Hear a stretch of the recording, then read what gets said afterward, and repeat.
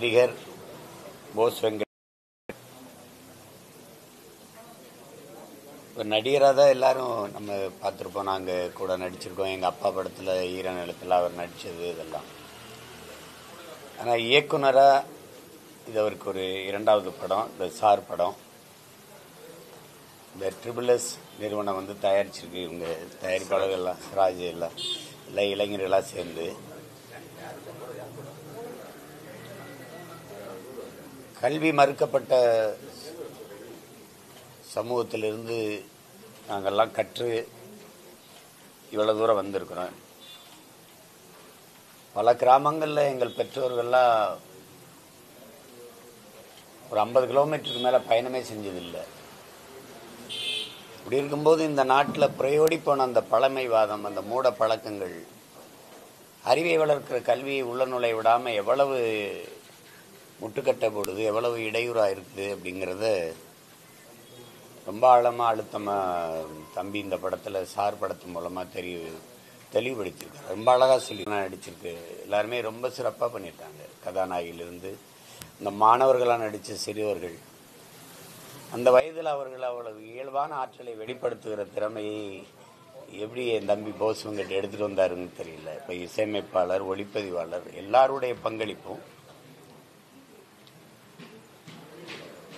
அது எவ்வளவு தூரம் இந்த பழமைவாதத்தை உடைத்து அந்த கல்வியை உள்ளே கொண்டு போகிறதுக்கு எவ்வளோ பெரிய போர் நடந்திருக்குது எவ்வளோ பெரிய இடையூறு நடந்திருக்குது எவ்வளவு தூரம் அதுக்கு நம் முன்னவர்கள் அரும்பாடாற்றிருக்கிறாங்க அப்படிங்கிறத சொல்லியிருக்கு படம் வலியுறுத்தியிருக்குது. அதில் ஒரு ஆசிரியர் ஓய்வு பெற்ற ஒரு ஆசிரியர் கல்வி கிடைக்காத எப்படி சேர்க்கிற மருத்துவம் கிடைக்காத மக்களுக்கு மருத்துவத்தை கொண்டு போய் சேர்க்கணும்னு நினைச்சாரோ அப்படி கல்வி அறிவு போய் சேராத கிராமங்களுக்கு அந்த அடித்தட்டு மக்களுக்கு கல்வியை கொண்டு போய் சேர்க்கணும்னு நினைச்ச ஓய்வு பெற்ற ஒரு தலைமை ஆசிரியருடைய பணி அவரை தொடர்ந்த ஒரு மகன் அவரை தொடர்ந்த அவருடைய பேரன் அவங்க மூணு தலைமுறையும் செய்த சேவை தான் இந்த படம். அது நல்லா செஞ்சிருக்காரு தம்பி நேர்த்தியான உரையாடல். கடைசியாக அவர் படம் முடிக்கும்போது அந்த ஆசிரியர் பெருமக்களுக்கு அவர் சமர்ப்பிக்கிற அந்த குரல் ஒளியே உரையாடலே ரொம்ப நெகிழ்ச்சியாக இருக்குது ஏன்னா நம்மை பெற்ற தாய் பத்து மாதம்தான் நம்மளை கருவறையில் பெற்றோர்கள் நம்மை இந்த உலகத்துக்கு க- உலகத்தை காட்டுகிறார்கள். இதுதான் உலகம். இது பெரியப்பா சித்தப்பா இது அப்பா இது தாத்தா பாட்டி என்று. ஆனால் ஆசிரியர் பெருமக்கள் தான் உலகத்திற்கு நம்மை காட்டுகிறார்கள். இவன்தான் தாமஸ் ஆல்வா எடிசன் இவன்தான் ஆல்பர்ட் ஐன்ஸ்டீன் இவர்தான் அப்துல் கலாம் இவர்தான் அம்பேத்கர் என்றெல்லாம் காட்டியது அறிவை புகட்டிய ஆசிரியர் பெருமக்கள் தான். அதை தம்பி போஸ் வெங்கட் மிக அழகாக அழுத்தமாக சொல்லியிருக்கிறார். நடிகராக எல்லாருக்கும் தெரியும். இவ்வளவு ஆழ்ந்து சிந்தித்து சமூக அக்கறையோடு ஒரு படைப்பை தருகிற ஒரு படைப்பாளியா என் தம்பி போஸ் வெங்கட்டை இந்த படம் உங்களுக்கு கொண்டு வந்து உங்களுக்கு உணர்த்தும். அது ரொம்ப நாளாக இந்த படத்தை அவர் எடுத்துட்டு தானே பார்த்துருங்க பார்த்துருங்க நானும் பல்வேறு பணி. அவர் வேற ஒரு படப்பிடிப்பிலிருந்து விட்டுட்டு அவசர அவசரமாக வந்து இந்த படத்தை திரையிட்டு காமிச்சார். எனக்கு ரொம்ப மகிழ்ச்சி. என்னுடைய தம்பி போஸ் வெங்கட்டுக்கும் அவரை அவருக்கு இந்த படத்தை அவர் சொன்ன அந்த கதையை ஏற்று தயாரிக்கணும்னு துணிந்த இந்த தயாரிப்பாளர்கள் சிராஜ் எல்லாருக்கும் என்னுடைய வாழ்த்துக்கள். குறிப்பாக ஒரு இருக்கிற வெளிச்சத்தில் ரொம்ப அழகாக பதிவு செஞ்ச ஒளிப்பதிவாளர் அவர் இசையமைப்பாளர் புதிய இசையமைப்பாளர். பின்னணி இசையெல்லாம் ரொம்ப சிறப்பாக பண்ணியிருக்காரு. அப்படி நிறைய கிட்டங்களில் என் தம்பிகிட்ட கூட சொன்னேன். அவங்க எல்லாருக்கும் என்னுடைய வாழ்த்துக்கள். கலை இயக்குனர் படத்தொகுப்பாளர் ஒரு நேர்த்தியான படைப்பு சார். படம் மாபெரும் வெற்றியடை என்னுடைய நிறைந்த அன்பு கொண்டு நான் நெஞ்சார வாழ்த்துறேன். என் தம்பி போஸ் வெங்கட்டு அது நடிப்பு திறனோடு படைப்பு திறனும் இருக்குது என்பதை இந்த படத்தின் மூலமாக நிரூபித்து காட்டியிருக்கிறார். அவருக்கு என்னுடைய வாழ்த்துக்கள். படம் மாபெரும் வெற்றியடைய நான் உளப்பூர்வமாக வாழ்த்துகிறேன்.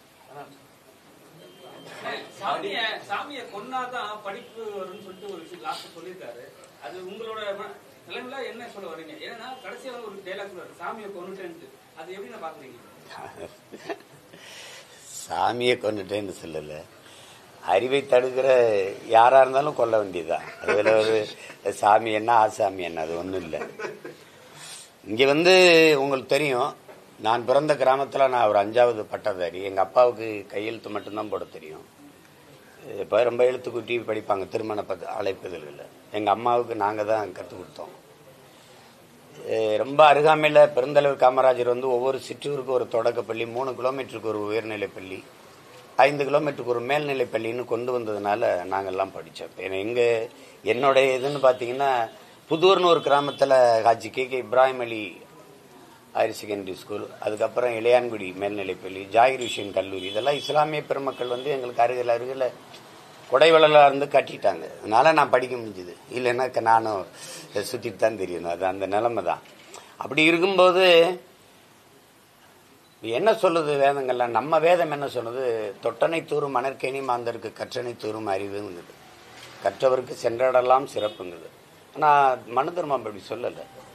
நீ கல்வி கற்றினா அடுத்த ஜென்மத்தில் வாயாலே தின்று வாயாலே மலம் கழிக்கும் வவ்வால் முகம் கொண்ட மைத்ராச ஜோதிகனாக பிறப்பாய் அப்படின்னு சவிக்குது. அப்போ ஒரு கூட்டம் வருது. நம்ம முன்னோர்கள் வந்து நீ அடுத்த ஜென்மத்தில் பேயா போ நாயா போ. இப்போ படித்து மனுஷனா போன்ட்டு படிக்க வச்சாங்க. அதை தான் அவர் சொல்றார். அந்த குறுக்க ஒரு சாமி நிற்குதுல்ல அந்த சாமியை தான் கொண்டேங்கிறார் சமீபத்துல சனாதனம் தொடர்பா அஹ், தெலுங்கு தேசத்துல இருக்கிற அவங்களுக்கும் நமக்கும் வந்து நிறைய இப்போ பேச்சுவார்த்தைகள் சண்டை மாதிரி நடந்து பேச்சுவார்த்தை எங்க உட்காந்து நடக்குது? அதெல்லாம் ஒண்ணு கருத்து வந்து அவருக்கு சப்போர்ட்டா மக்களும் இவங்களுக்கு சப்போர்ட்டா மக்களும் பேசிட்டு இருக்க நேரத்துல சாமியை கொண்டுட்டேன் அப்படிங்கிற சொல்ற வார்த்தை வந்து எந்த?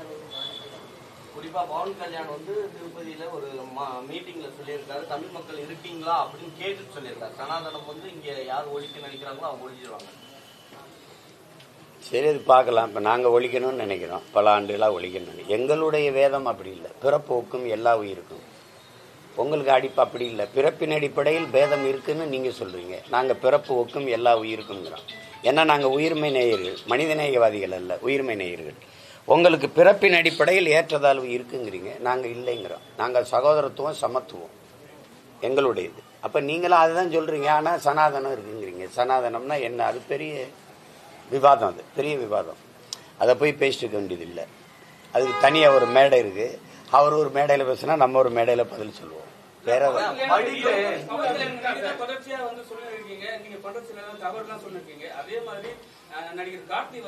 இல்லை. நான் சொல்றது நான் சொல்லும்போது எல்லாரும் என்னை திட்டினாங்க. நான் அதெல்லாம் பார்ப்பேன் இருங்க இருங்க இருங்க. நீதிமன்றம் என்ன சொல்லுது? உச்ச நீதிமன்றம் என்ன சொல்லுது? அரசியல் செய்யறதுக்கு ஒன்று இருக்குது. நான் ஒன்று உங்களுக்கு ஒன்று கேட்குறேன்.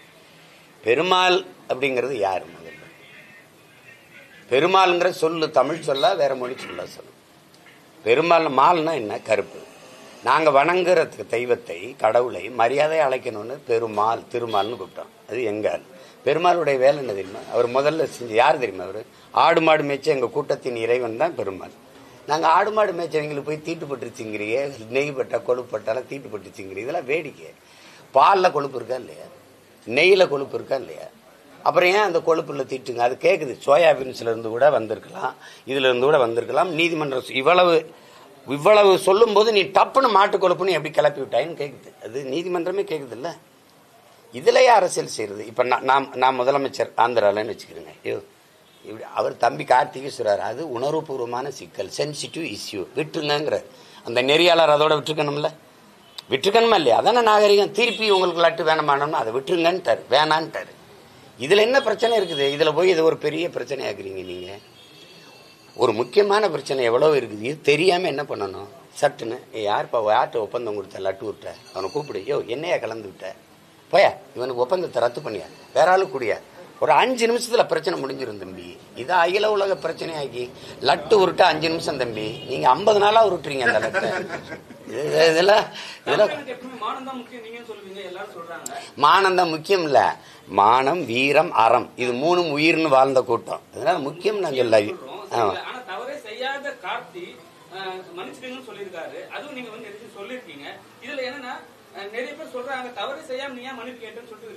பெருந்தன்மை நினச்சிக்கோங்க. பெருந்தன்மை. இப்போ இப்போ வந்து அவர் கேட்குறாரு அவர் சொல்கிறாரு அந்த இடத்துல இப்போ நாங்கள் பெரிய முதலீடு ஒரு படத்தை எடுத்து வச்சுருக்கோம். அவர் ஆந்திராவில் துணை முதல்வராக இருக்கிறாரு. படம் ஓடணும். படத்தை வந்து பல பேர் வேலை பெரிய விலை கொடுத்து வாங்கியிருக்காங்க. நான் ஒரு பேசி பேச அந்த முதலாளி வாங்கின முதலாளி பாதிக்கப்பட எதுக்கு சரிப்பா மன்னிச்சுக்கப்பா. இவ்வளோதானே மன்னிப்பு கேட்டதுனால தம்பி சிறியவர் ஆயிட்டாரு அவர் மன்னிப்பு கேட்க வச்சதுனால பெரியவர் ஆயிட்டாரு.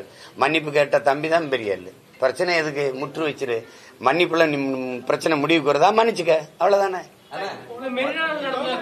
பள்ளிக்கூடத்துல பாத்தீங்க சமீபத்துல பாத்தீங்கன்னா சத்துணவு டீச்சர் வந்து ஜாதி வேற இதுன்றதுனால அந்த சாப்பாடு தூக்கி போய் வெளியில கொட்டின நிகழ்ச்சிலாம் கேள்விப்பட்டிருப்பீங்க. இன்னமும் ஜாதி இது இன்னைக்கு நடக்கல. நிறைய நடக்குது. மதுரை மதுரையில. இப்போ இப்போ அந்த இஷ்யூ நம்ம பேசிட்டு தான் இருக்கிறோம். உள்ள நீங்க படம் பார்த்துட்டு இருக்கீங்க. அரசியல் கட்சி தலைவர். உங்க பக்கத்துல ஒரு சீட் இருக்கு. ஒரு பத்திரிகையாளர் போய் உட்காரும் போது அங்க உட்கார கூடாதுன்றாங்க இங்கேயே அந்த தீண்டாமை உங்க பக்கத்துலயே வந்துருச்சு. என் பக்கத்துல யார் அப்படி சொன்னது உங்களை? உங்க பக்கத்துல இருக்கக்கூடிய போஸ் எங்கிட்ட தான் சொல்லி அனுப்புறாங்க. எங்க என்ன வெளில அந்த பக்கம் போய் உட்காருங்கன்னு சொல்றாங்க. இது எதனால இந்த இதை பண்றீங்க? இல்ல நீங்க பத்திரிகையாளர்னு தெரியுமா? தெரியுதுல படம் பார்க்கும்போது தொந்தரவா இருந்துடக்கூடாதுன்னு சொல்லியிருப்பாரு. தம்பிக்கும் அந்த சிந்தனை இல்ல படம் பார்த்த எங்களுக்கும் அந்த சிந்தனை இல்ல. நீங்க அப்படிலாம் அதுல தீண்டாமைன்னு நினைக்காதீங்க. நாங்க தான் அதிக தீண்டாமை கொடுமையை அனுபவிச்ச கூட்டம். நீங்க போய் அதையே அப்படி சொல்றீங்க. நிகழ்ச்சி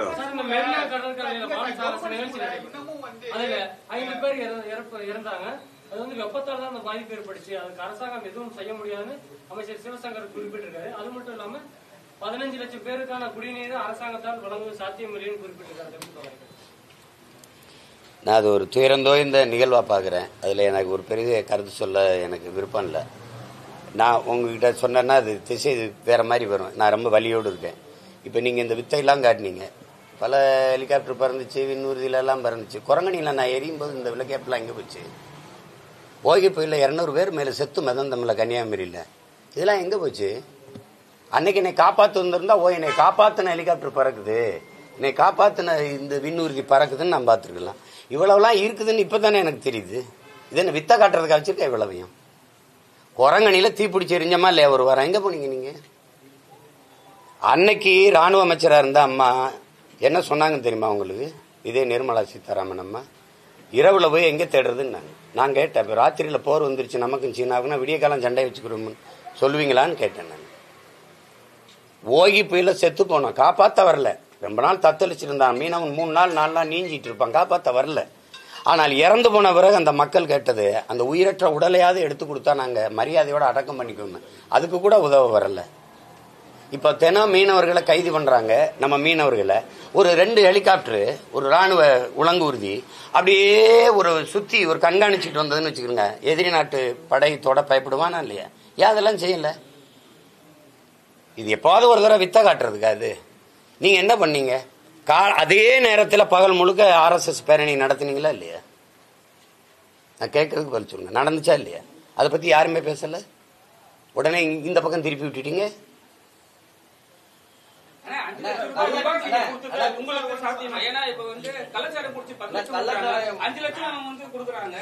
நான் நான் வந்தது என் தம்பியுடைய படத்தை பார்த்து அதை பாராட்டி பேசுறதுக்கு. நீங்க கள்ளச்சாராயத்துக்கு இறந்தவங்களுக்கு உடனடியாக அரசாங்கம் வந்து பத்து லட்சம் அறிவிச்சிருக்கு. இப்போ சமீப வானூர்தி நிகழ்ச்சி நடத்துறாங்க அதுல அஞ்சு பேர் இறந்துட்டாங்க அதுக்கும் அறிவிச்சிருக்கு. பிளஸ் கலைஞர் நூற்றாண்டுன்னு அந்த பூங்கா இதுக்கும் வந்து குறைக்கணும்னு சொல்லி இது பண்ணியிருக்காங்க.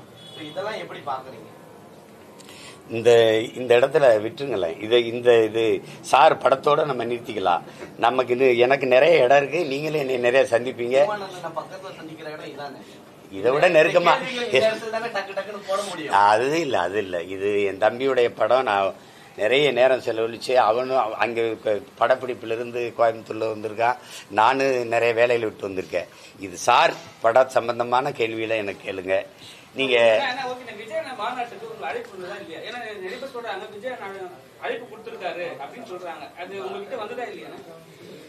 பேச்சு அது மாதிரி பேச்சு வரும்போது நான் ஒரு அண்ணனா நான் அவருக்கு சொன்னது யாரையும் அழைக்கக்கூடாது. மாநாட்டில் வந்து தேவையில்லாதது வரும். கட்சியை தொடங்கி அவர் தன்னை கொள்கை என்ன லட்சியம் என்னன்னு பேசிட்டு வந்துடணும். அதான் மான் தொடக்கத்துக்கு சரியா இருக்கு. அதுக்கப்புறம் பின்னாடி ஒரு க வளர்ந்துட்ட பிறகு அதிகாரத்துக்கு வந்த பிறகு மற்றவர்களெல்லாம் கூப்பிட்டு பேச வைக்கிறது போற வைக்கிறது வேற. தொடங்கும் போது தம்பி தான் பேசணும்.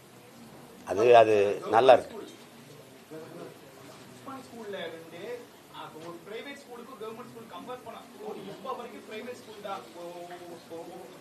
ஆதிக்கம் தான் முன்னணியில் இருக்கு. ஸ்கூல் கூட கவர்மெண்ட் ஸ்கூல்ல காமிச்சிருக்காங்க. ஸோ இப்போ வரைக்கும் நமக்கு கவர்மெண்ட் ஸ்கூல் அப்படியே தானே இருக்கு. மாறவே இல்லைல்ல ஒரு பிரைவேட் ஸ்கூலை கம்பேர் பண்ணும்போது இதுல இல்ல இதுல உங்க அத்தனை பேருமே வந்து பிரைவேட் ஸ்கூலுக்கு தான் ஃபர்ஸ்ட் ப்ரிஃபரன்ஸ் கொடுப்பாங்க. கவர்மெண்ட் ஸ்கூலுக்கு இதுல அத்தனை பேர் எந்த குழந்தைகளா சேர்க்கிறாங்களா? ஐஏஎஸ்ல இருந்து ஐபிஎஸ்ல இருந்து டாக்டர்ஸ்ல இருந்து அத்தனை பேருமே வந்து கவர்மெண்ட் ஸ்கூல்ல மதிக்கவே இல்லை. இதுக்கான காரணம் என்ன? இது வந்து உலக பொருளாதார கொள்கையிலிருந்து பேசி வரணும். நீங்கள் உலகம் வந்து இன்னைக்கு சந்தைமயப்படுத்தப்பட்டதுனால கல்வி மருத்துவம் குடிநீர் விநியோகம் மின் உற்பத்தி விநியோகம் சாலை போடுதல் பராமரித்தல் இது எல்லாமே வந்து தொழிலாயிருச்சு.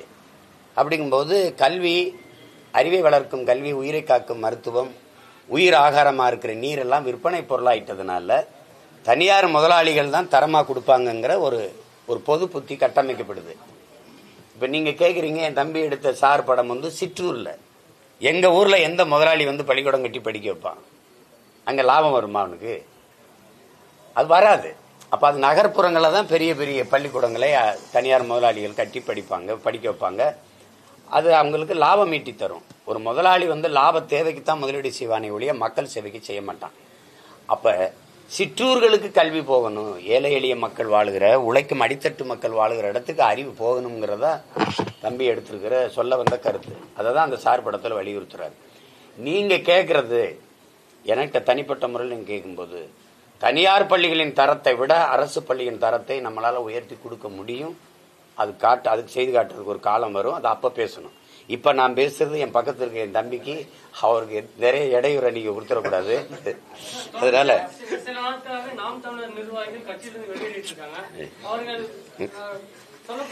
இப்ப இப்ப என் தம்பி என்ன சொல்ல வர அதனால தானே பெட்ரோல் விலை ஏறிடுச்சு டீசல் விலை ஏறிடுச்சு சொல்ல வரியா.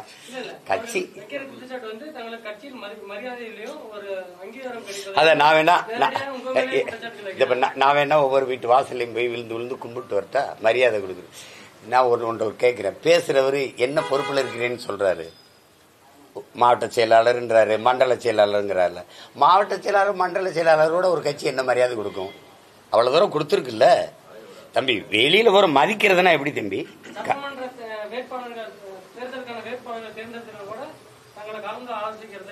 அப்படிலாம் கலந்து ஆலோசிச்சுலாம் எடுக்க முடியாது தம்பி. அப்பெல்லாம் பயணிக்கிட்ட உட்கார்ந்து உட்கார்ந்துருக்க பேருந்தில் உட்கார்ந்துருக்க ஒவ்வொருத்தட்டையும் இந்த வண்டியை எப்படி ஓட்டுறேன்? நல்லா ஓட்டுறேன்னா இப்படி ஓட்டலாமா? அப்படி ஓட்டலாமாலாம் கேட்டுக்கிட்டு ஓட்ட முடியாது. விருப்பம் இருந்தால் வேலை செய்யலாம் இல்லைன்னா போயிடலாம். இவ்வளோ காலம் இருந்தாங்க இல்லையே கட்சி வந்து ஒரு வேட்பாளரை வந்து ஒரு தொகுதியில் இருக்கிற அவங்களே தேர்வு செஞ்சு கொடுத்துருவாங்கன்னா கட்சியை நான் நடத்த வேண்டியது இல்லையே. அவங்களே ஒரு கட்சி ஆரம்பித்து நடத்திக்கலாம். புரியுதா? அது பேசிட்டு இருக்க முடியாது. அது தேவையில்லை. இப்போ அது தேவையில்லை. அது ஏன் பிரச்சனை? என் கட்சி பிரச்சனை. நாட்டுக்கோ மக்களுக்கோ அது பிரச்சனை கிடையாது.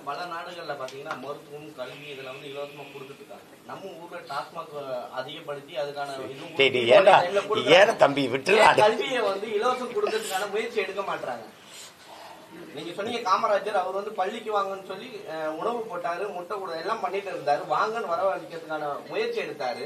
இங்க டாஸ்மாக் வர்றதுக்கான முயற்சி மட்டும் தான் நடந்துட்டு இருக்கு. ஏன் கல்வியை வந்து இலவசமா கொடுக்கலாம்ல? அதுக்கான முயற்சி ஏன் எடுக்காம இருக்காங்க? கொடுப்போம். இலவசமா தான் இருக்குன்னு சொல்றாங்க. ஆனா தரமா இல்லைங்கிறதா உண்மை. இலவசமா தான் இருக்கு. தரமா இல்லை. அது தரப்படுத்துவோம். அதுக்கு தான் அன்னைக்கு எல்லாம் இவ்வளவு வேலை செய்யறோம் என் தம்பியை விட்டுருங்க அவன் போனதுக்கு அப்புறம் கேள்வி கேளுங்க. நான் சொல்றேன். நல்லா இருப்பீங்க? என்னால என்னால அவனுக்கு தம்பி. தம்பி இது நம்ம நம்ம நம்ம பேசிக்கக்கூடிய இது க- இது கருத்து செய்தி அவனை விட்டுருங்க. தயவு செய்து அவனை விட்டுருங்க. பாதி. தம்பி நான் போயிட்டு வரேன்.